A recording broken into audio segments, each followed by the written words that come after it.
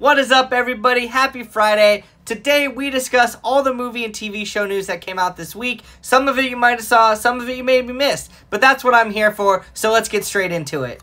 Michael Waldron, the creator of Loki, was just brought on to pen the script for the Kang Dynasty.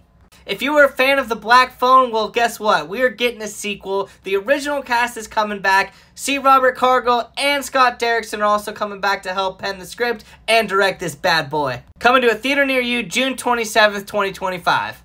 Tim Burton confirmed on his Instagram that Beetlejuice 2 just finished filming, so maybe we'll get a trailer here pretty soon.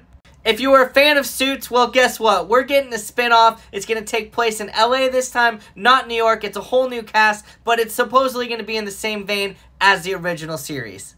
Robert Eggers' new film Nosferatu, which is my most anticipated film of 2024, just got its release date and it's coming out on Christmas, December 25th, 2024. My favorite horror movie of 2023, Thanksgiving, is getting a sequel.